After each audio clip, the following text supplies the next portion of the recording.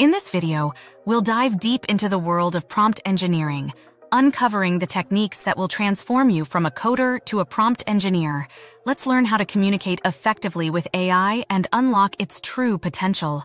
We'll begin by understanding what are the key prompt engineering techniques and how to choose the most suitable prompt engineering technique for your specific needs. From quick reference guides to the nuances of when to use RAG or ReAct, we've got you covered. Let's start with delving into the details of these prompting techniques. Zero-shot prompting. This approach presents a single prompt and relies on the LLM's internal knowledge.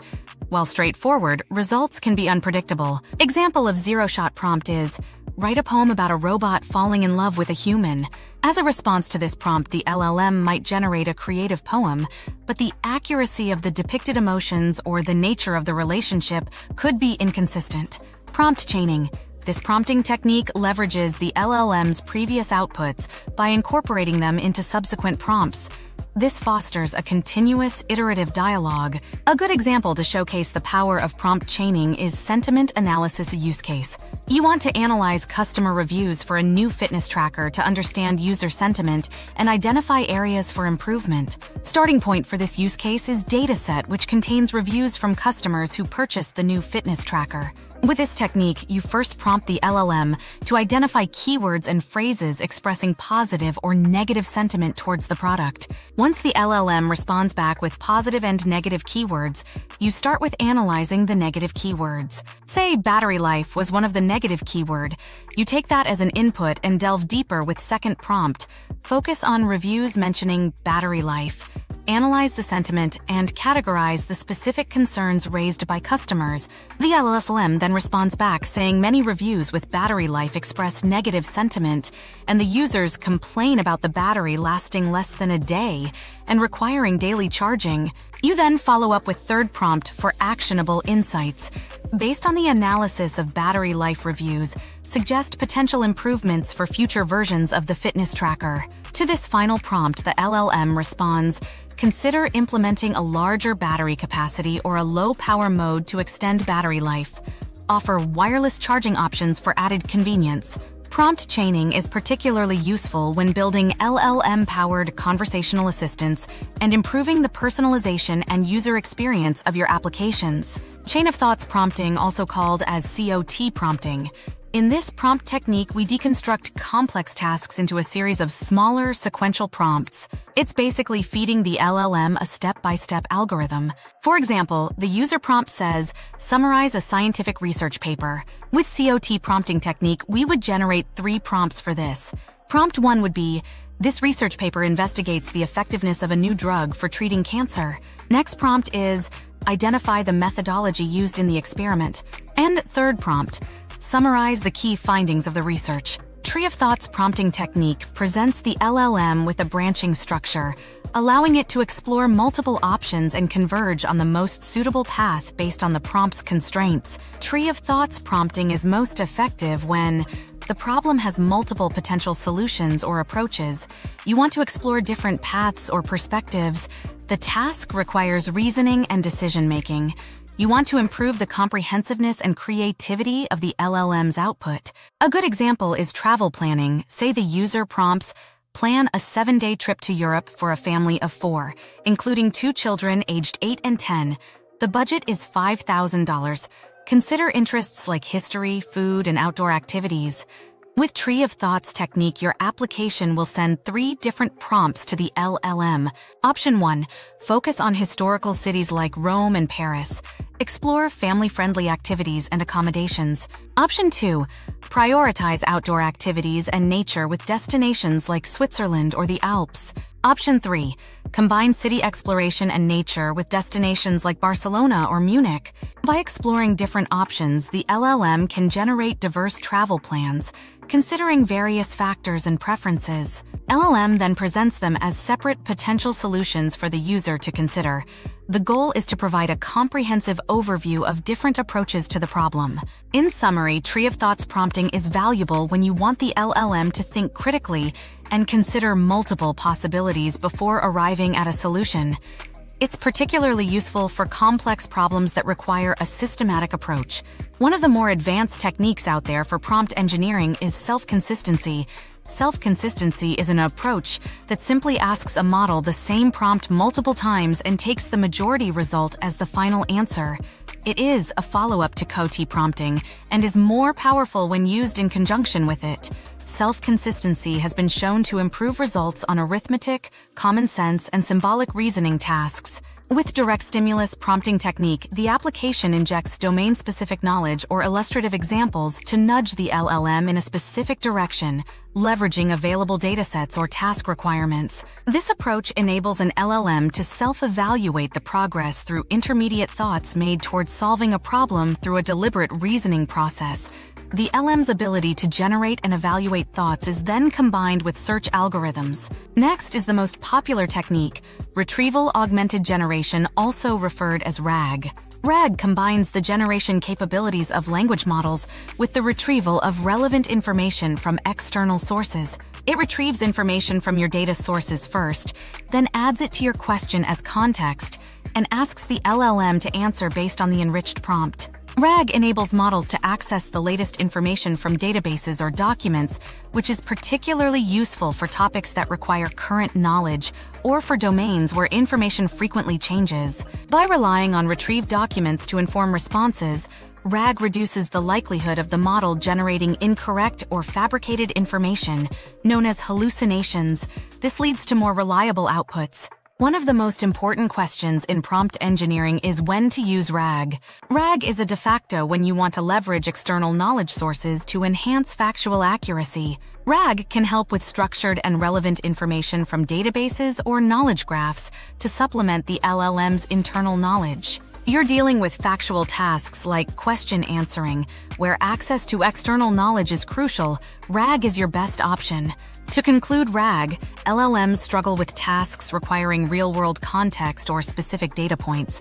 RAG injects this information for more grounded responses. ReAct prompting technique is inspired by the synergies between acting and reasoning, which allow humans to learn new tasks and make decisions or reasoning. This dual approach enables dynamic reasoning, allowing the system to formulate, modify, and refine action plans. Simultaneously, it facilitates interaction with external sources, like Wikipedia, thus integrating new information into the reasoning process. ReAct allows models to not only generate responses, but also take actions based on those responses. This enables more dynamic and interactive conversations, making the model's behavior more adaptive and contextually relevant. Next is when to use ReAct prompting. You select ReAct when you need the LLM to not only generate text, but also perform actions and reason through complex tasks. An example is when you're building an AI agent, which recommends a restaurant to the user. ReAct allows the LLM to iteratively refine its response based on its reasoning and interaction with the simulated environment. ReAct provides explainability to its reasoning process and shows the user how it arrived at the answer. Prompt engineering is a powerful tool, but choosing the right technique can significantly impact your results. Here is the quick guide. When you are looking purely from use case perspective, for baseline inquiries, consider zero-shot prompting. To conquer intricate multi-step tasks, deploy COT prompting or prompt chaining. When guiding the LLM with domain-specific knowledge, leverage directional stimulus prompting. To enable the LLM to explore possibilities, utilize Tree of Thoughts prompting. For maintaining focus, integrate self-consistency prompting. Here is another prompt technique evaluation methodology based on the task, data, and model. The complexity of your task is a crucial starting point. For simple requests like translate English to Spanish, Zero-shot prompting might suffice. If you're dealing with complex problems like writing a poem analysis, consider chain of thought or tree of thought prompting to break down the task into smaller steps. The capabilities of your language model are essential. Advanced models, models with strong reasoning abilities can handle tree of thought prompting effectively. Basic models, for simpler tasks, zero-shot or few-shot prompting might be sufficient. The availability of relevant data can influence your choice. Specific datasets. If you have a dataset tailored to your task, directional stimulus, prompting can guide the model towards the desired output. limited data. For tasks with scarce data, focus on general prompt engineering techniques. Now that we've explored a range of prompt engineering techniques to effectively communicate with our AI models, let's delve into some best practices for optimizing both the input and output stages of this process. Understanding how to pre-process prompts and post-process outputs can significantly enhance the overall performance and reliability of your AI applications. Pre-processing is like getting your ingredients ready before you start cooking. It ensures the LLM has the best possible foundation to generate accurate and relevant responses. The first step is cleaning. Think of it as decluttering your prompt. We remove unnecessary elements like extra spaces, strange symbols, or unwanted formatting. It's like tidying up a messy workspace to create a clear and focused environment for the LLM. Next comes template application. Imagine having a recipe card that outlines the basic structure of a dish. That's what a template does for a prompt. We apply predefined structures to the user's input, ensuring consistency and helping the LLM understand the prompt's intent more easily. To give the LLM more context, we inject relevant background information or examples. It's like providing additional clues to help the LLM solve the puzzle. By giving the model more context, we can expect more accurate and informative responses. LMs have limitations when it comes to input length. That's where length management comes in. We adjust the prompt to fit within the model's limits. This might involve shortening long prompts or breaking them into smaller pieces. It's like summarizing a long story to fit into a short message. Finally, we handle special tokens. These are specific markers or symbols that the LLM understands. It's like using secret code to communicate with the model. By adding these tokens, we can provide extra instructions or guide the LLM's response in specific ways.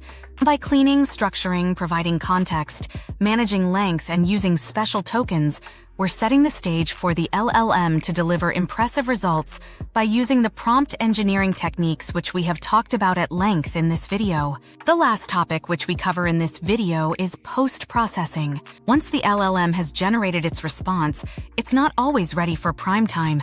This is where post-processing comes in. The first step is filtering. We're essentially sifting through the output to remove anything unwanted. This includes profanity, sensitive information, or any content that doesn't align with our desired output. It's like a digital bouncer keeping out the undesirables. Next up is formatting. This is where we give the output a polished look. We're talking about adding line breaks for readability, applying consistent styling for a professional appearance, and ensuring the overall structure is clear and easy to follow. It's like transforming plain text into a beautifully formatted document. Sometimes the LLM can be a bit verbose. That's where truncation comes in. We cut off the response at a specific length or at a logical breakpoint. It's like editing a novel.